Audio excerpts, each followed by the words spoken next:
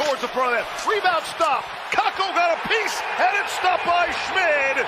And the crowd across the front of the net. We'll get a great view here as Kakko hits it out of the air and Schmid with the glove save.